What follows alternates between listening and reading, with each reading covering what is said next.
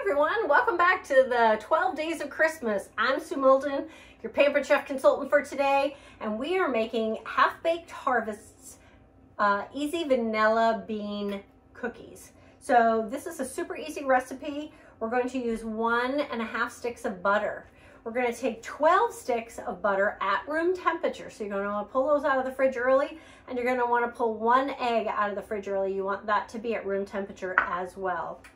You're going to take six of the tablespoons of butter and you're going to put it in a nonstick pan and you're going to get it going until it's boiling and bubbly. That will make it turn brown. It'll kind of caramelize it a little bit and then you're just going to stick it into um, like a one cup prep bowl, some type of heat proof uh, container that you can stick in the freezer. So you're going to stick that into the freezer and you're going to cream the rest of your butter and you're going to add into that some hazelnut liqueur and some double Madagascar bourbon vanilla. And then we are going to add three quarters of a cup of sugar. So I've already done that here in our new um, bowls. And then what you're gonna do is you're going to add a half a teaspoon of your kosher salt and a half a teaspoon of baking soda, not baking powder.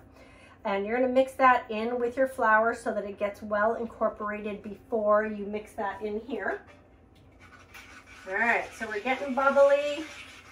It's starting to look good. It needs about a minute or so more. Then what we're gonna do is once that is bubbly, I'm gonna put in the freezer for 10 minutes. I'm gonna take a break. I'm gonna splice my video together. I'm gonna add that here. I'm gonna add the egg and mix those together. Then I'm gonna add in the flour and then we'll be ready to roll out our cookie doughs and we're going to be able to cut them with whatever shape you would like.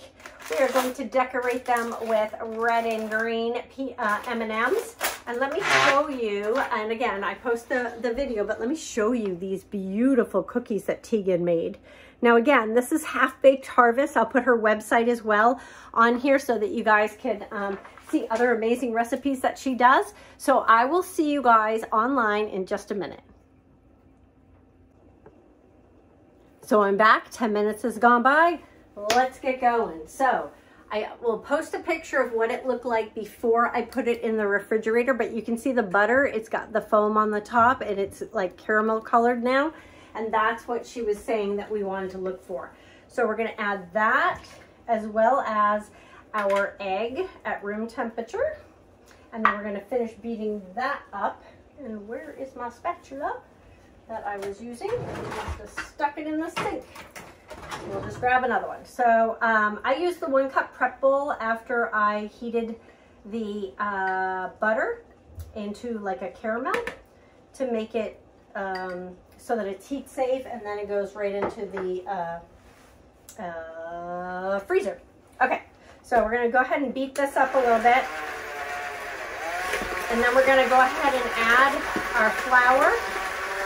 And you're supposed to add your flour a little at a time so that you can get the ingredients all mixed well. So um, just shake a little in, go around a few times, make sure it gets really well incorporated. Once you know it's incorporated, add a little bit more. I think part of that is because you'll end up getting, um, you know, a lot more air mixed in, and you're going to have a really good. Uh, that was the 10 minutes. It said make sure that you don't do it for more than 10 minutes. You probably notice in the background I got one of our new Brilliance cookware going because it's dinner time and I have to finish I have to finish cookies and get dinner going. So I'll talk about that cookware for you as well. I did the butter in our um, executive non-stick cookware, which has a lifetime warranty. And then I am cooking pasta to make mac and cheese in our new Brilliance cookware.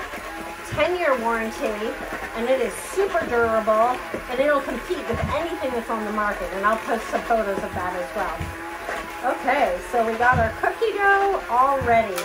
So at this point, we're gonna add a little flour, we're gonna roll it out, and we're gonna make cookies. So that's it for the dough. I will show you the icing and uh, the finished part in a little bit.